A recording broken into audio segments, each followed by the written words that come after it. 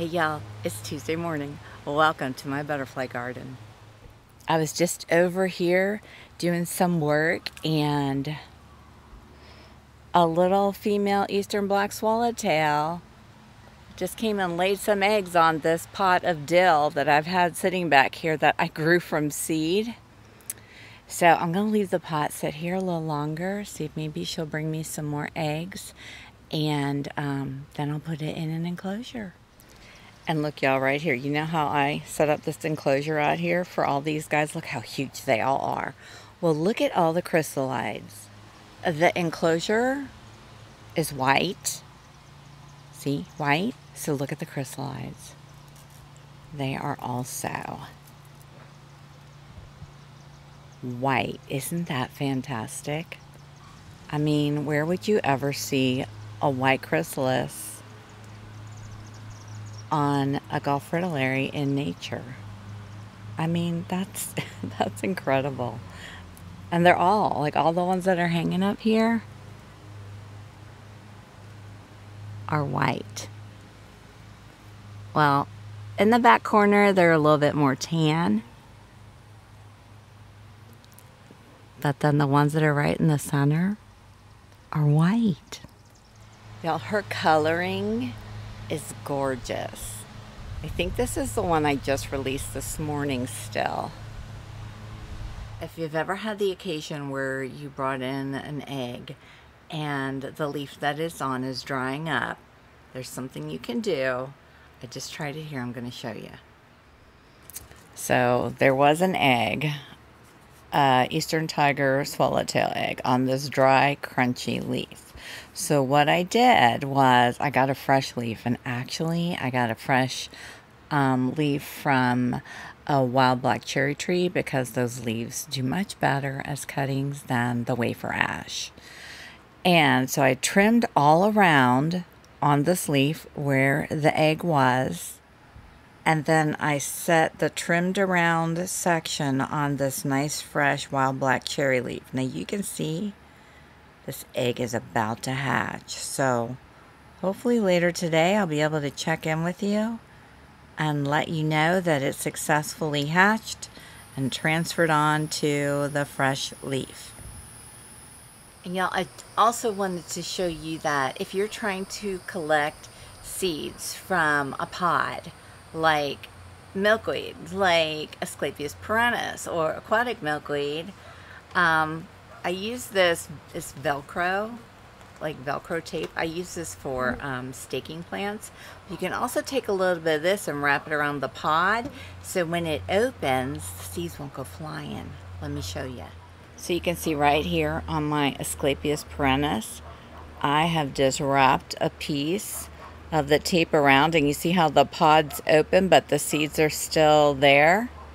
And I have this other pod wrapped as well. So now I can take these seeds out and grow them for myself instead of having them spread all over the place.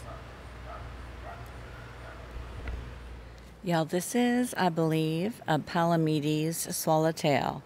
This is the one that I have hard, I hardly ever see in my garden.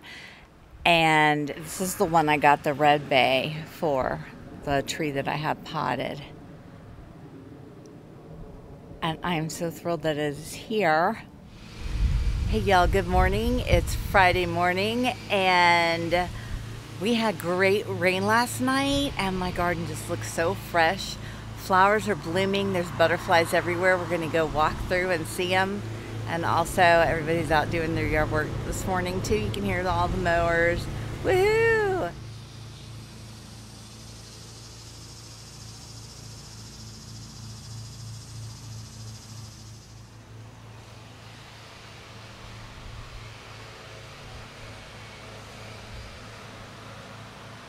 Look at this bronze fennel. There was a gorgeous female eastern black swallowtail over here. And she was laying some eggs. There's a giant swallowtail.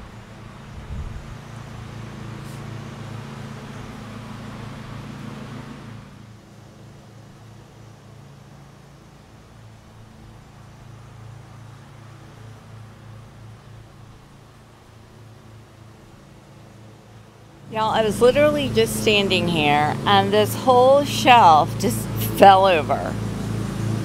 I mean, nothing hit it, nothing bumped it, but now I have a mess to clean up. So I'm going to go take care of this and uh, hopefully the mower will be done and I'll be back. Y'all, look. It worked. Those little crunchy leaf pieces with the eggs on them, they hatched and successfully moved onto a fresh cutting. Woohoo! Here's the other one. Oh my gosh, I'm so happy that that worked out. You guys, this is another way to keep eggs safe. Take one of those little like Gossamer Gauzy bag. I just got a package in the mail and my the stuff I bought was wrapped in this. So I thought, hey, we'll go out there and tie it on some of those Eastern Black Swallowtail eggs. So Isn't that something? I see people do this a lot and suggest it, but I don't know why I've never tried it. So here we go. And y'all, I got my shelf taken care of and all the pots that fell over cleaned up. And you know, when life gives you lemons, wait do you see my lemonade. Look y'all, I moved the shelf in here and now I have more room for cuttings. I still have to bring the grow lights out and get them set up, but so that worked. I'll take it. I'll take it.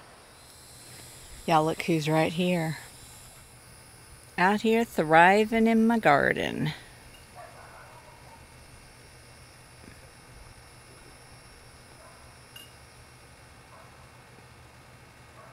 Yeah, I just came out to the Butterfly Haven to get some more cuttings for my Gulf fritillaries.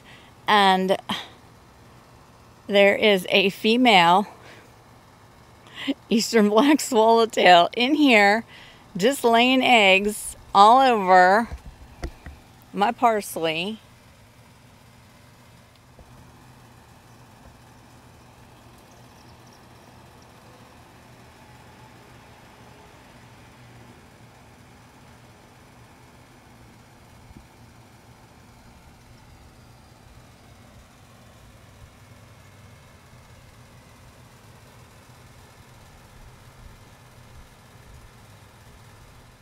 Now there's a polydamas swallowtail just hanging out in here too. How funny is that? Okay, I've got my cuttings ready and they're coming with a friend. See, there's a little friend back there.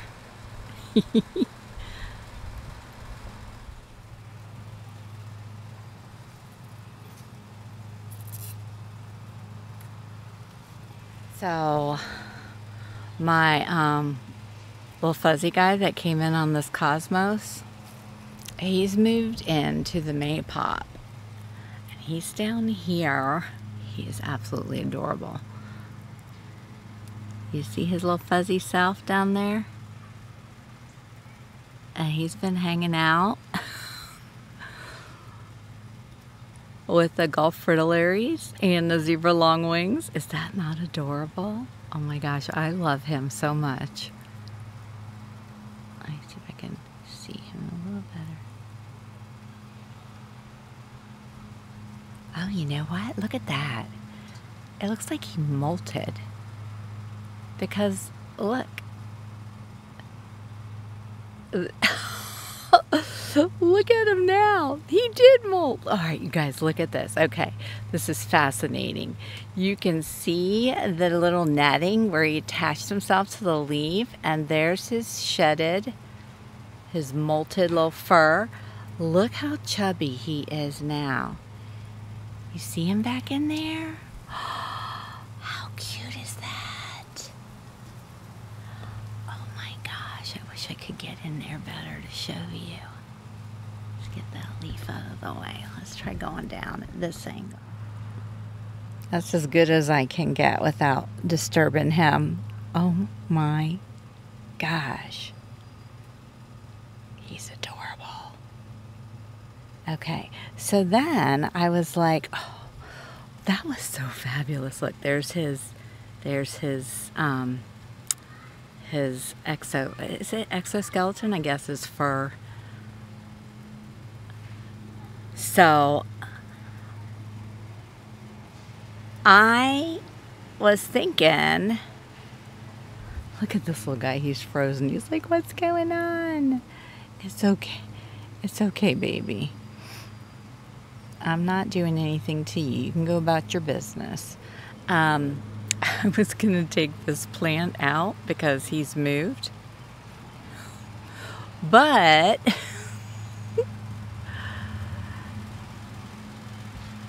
there's a chrysalis on it now, a Gulf fritillary. And do you see that green guy back there? Let me see if I can move it. He's on there. And I don't know who that is. It's not a sulfur. Uh, who knew the cosmos was just such a inhabited plant? So I don't know who that is, but he's on there because he's not my sulfur because there's my sulfur right there doing great. oh my goodness. This is so much fun, you guys. This is so much fun. And again, I want to add a little disclaimer. Like, I am not raising and releasing like hundreds of butterflies. Well, that probably looks like it because I do have a lot of Gulf fritillaries, but well, just pretend you don't see how many Gulf fritillaries I have. But I do it to, to share it with you and because I just love them. They're fascinating.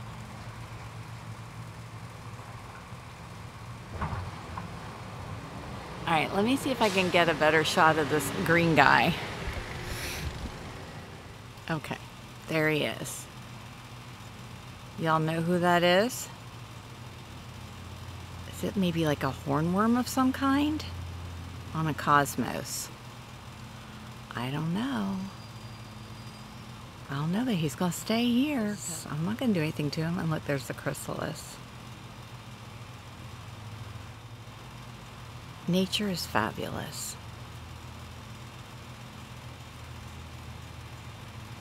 Okay, y'all, I pulled the whole thing out so you can have a better view of the woolly guy.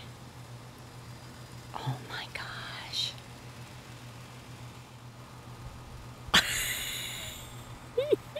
I just can't stand it. Look how adorable.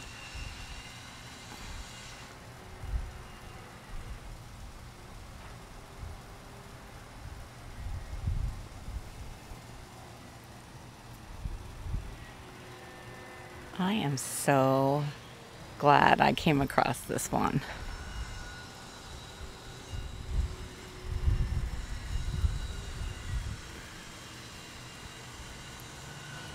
Yeah, this is my view when I'm sitting in the butterfly haven looking out.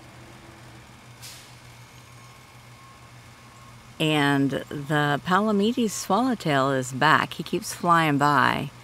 So I thought you'd enjoy sitting here listening to our neighborhood garbage truck going around picking up trash as we um, watch for the swallowtail to do a flyby.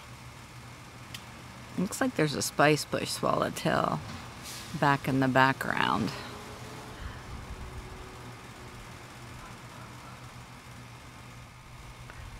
There's a Gulf fritillary. Looks like there's a great southern white. It just flew in. See her? She's like, there she is. So I got the um, Polydamas out. You can see it flying around over there by the red pentas. There's a Gulf fritillary over there too. Hang, you can still hear the garbage truck. This is like butterfly gardening inspirations play by play. Now we've got a little skipper in on the scene.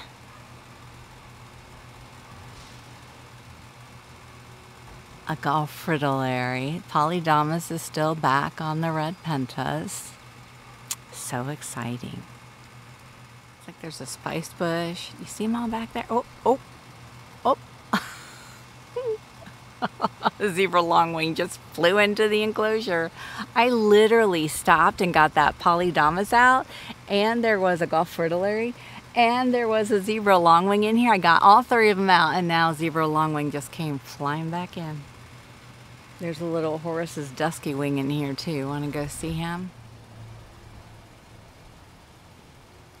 He's right there enjoying that Bidens alba that's just randomly growing in here.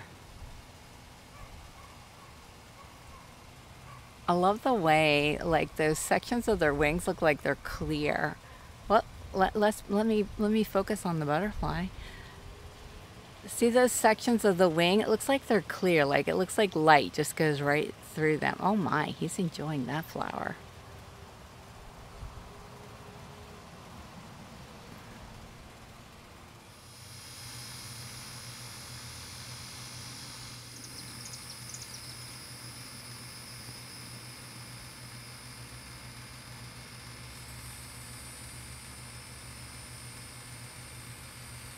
Yeah, this is kind of nice to sit out here and watching butterflies with you all.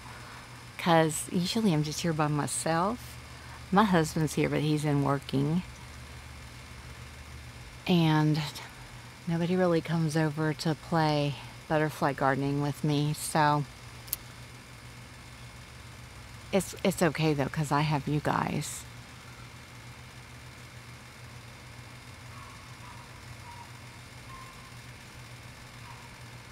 But you can see how much action this is, and this isn't even like the prime time of the day. Like the prime time is early morning when they're all starting to come out, but then the evening, like around five to six, there's usually a lot of them because they're coming down for dinner before they go roost for the night. Y'all, wasn't that fun? That's kind of fun. You will do that again. If you'd like to do that again sometime, just type in the comments, yes, let's do it again. If you wouldn't like to do it again, just, you know, don't say anything because you'll hurt my feelings and I'll cry. Mm-hmm.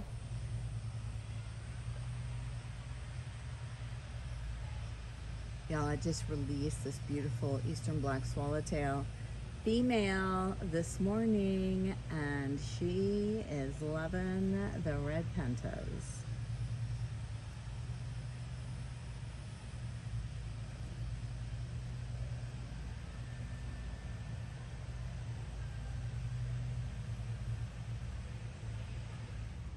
Y'all look.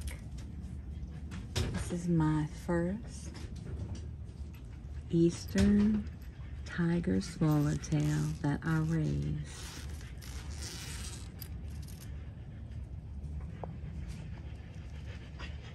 Get a little video. It's a girl. And my dogs are all making weird dog noises in the background. Mm-hmm.